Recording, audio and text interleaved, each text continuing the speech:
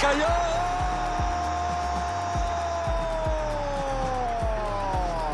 Del Real Madrid. Lo gana por dos.